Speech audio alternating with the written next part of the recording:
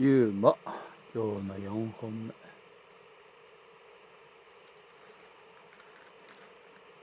そこきちっと止める。後ろ行かないで。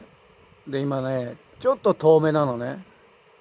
先週と違って風吹いてますんであんまり遠くですと前の2機みたいにどっぷりショートするよ。よく考えて。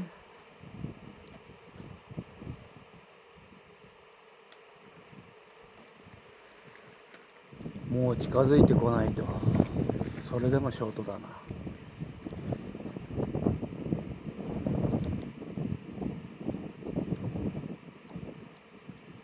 ターゲットへなるべくきちっといい直線でしっかり。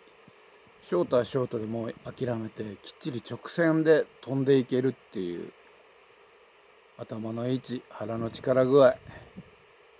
手にだって適度にバーを引いてる力がかかるの。で、そのまま地面来て、グラハンが始まるの。